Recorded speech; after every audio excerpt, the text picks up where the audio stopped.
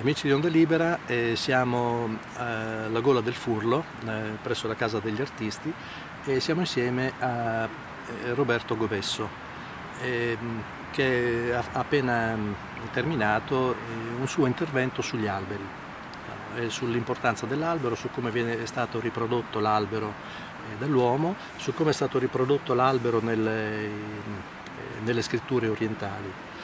Ecco, ehm, gli chiediamo allora puoi raccontarci brevemente insomma, sì. questo, l'importanza dell'albero e perché per, per, l'uomo è così importante? Eh, cioè è dimostrato che l'abbiamo trovato in tutti i dipinti, in tutti gli scritti, e quindi addirittura come decorazione, quindi noi viviamo con l'albero. Certo, ma diciamo che io mi occupo di comunicazione visiva e quindi mi è sempre mm, interessato, piaciuto, poi con l'interesse viene anche il piacere quando si studiano a fondo certi aspetti della nostra cultura.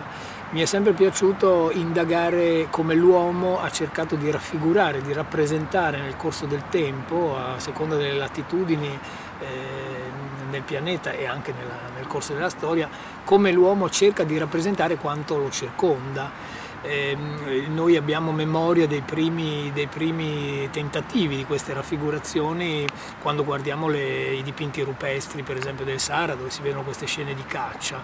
Quindi l'uomo cerca sempre di raffigurare, di narrare, di comunicare con gli altri uomini eh, la sua vita, quello che, che, che pervade la sua esistenza. È chiaro che negli aspetti eh, primordiali, ancestrali di questo suo rapporto di esistenza eh, sulla Terra si raffrontava a quello che erano le sue necessità, e quindi gli animali, la caccia, vivere nelle caverne, il fuoco e quindi vivere anche a contatto con la natura.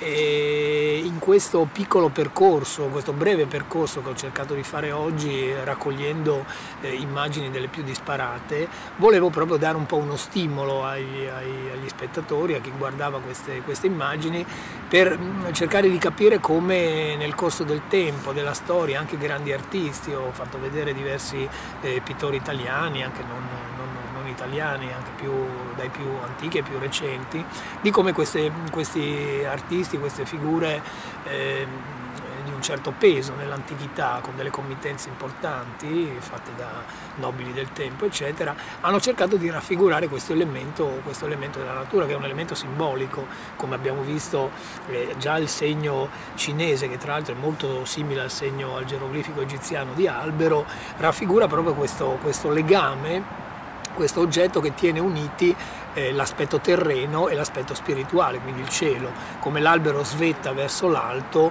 ben essendo, essendo, ben radicato con le, sue, con le, sue, radici nel suolo e quindi questa figura è diventata una figura simbolica già nella, nell'antichità attraverso proprio dei percorsi religiosi per far capire questa congiunzione tra il cielo e la terra e noi che viviamo questo, questo spazio che ci è dato di, di, di dividere con i nostri simili. Quindi diciamo era un percorso visivo all'interno di queste simbologie di questi segni che l'uomo ha, ha tracciato nel corso, nel corso, della sua storia.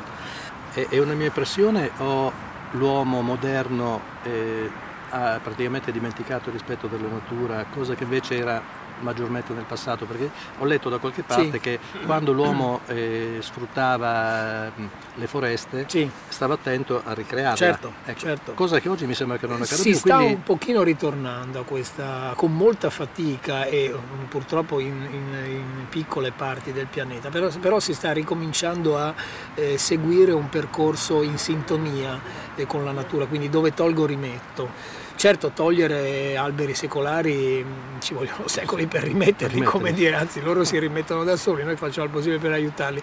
Dovremmo riuscire a convivere un pochino, un pochino eh, più in armonia. Non voglio, usare, non voglio usare il termine migliore o peggiore, mm, sono, sono terminologie che quantificano e qualificano delle, degli aspetti che purtroppo noi abbiamo perso. L'uomo antico era molto più rispettoso di certe, di certe situazioni che gli si presentavano davanti, basta guardare, mi vengono in mente le religioni, le religioni animiste o lo shintoismo giapponese che si rifà proprio alle forme della natura, eh, l'acqua, il fuoco, la vita, la terra, le piante, quindi insomma c'era, un aspetto sicuramente molto più, più intenso, ma era, era, sempre legato a questioni religiose sostanzialmente. Poi l'uomo ha perso Dio e quindi tutto se n'è andato. Ecco, mi sembra che ci sia anche, hai citato adesso eh, diciamo, la cultura orientale, sì. mi sembra che ci sia una, un grosso divario di, di come viene trattata la natura tra gli orientali e gli occidentali. Sì, assolutamente. Perché mi sembra che gli orientali, soprattutto i giapponesi, hanno proprio una, una grande attenzione nel cercare di non eh, sì. modificare, sì. No? per cui le loro stesse certo, costruzioni certo. si integrano, cosa che invece in Occidente mi sembra che questa cosa non ci sia, noi siamo, portiamo più a, eh, sì, a togliere per mettere l'insediamento certo, umano. Sì, è sempre un discorso molto legato alle tradizioni. Eh, noi in Occidente abbiamo perso per questioni mm, politiche, anche economiche anche di semplice utilitarismo, abbiamo perso un po' eh, il senso di quello che è un, un, vivere armonico con questi elementi. Gli orientali sicuramente sono sempre stati molto attenti a questo aspetto, Hanno, i giapponesi più di, di qualsiasi altro popolo cercano ancora di mantenere molto radicate le tradizioni e parlo di artigiani che usano la terra per per fare le, loro vasellami, le loro tazze per le cerimonie, terra che gli ha mantenuto il nonno, che il nonno ha conservato per i nipoti, eccetera. Insomma, c'è comunque un, un, un cercare di... però sono piccole isole in oceani di disastro. Bene, grazie amici di Onda Libera, un saluto. Arrivederci.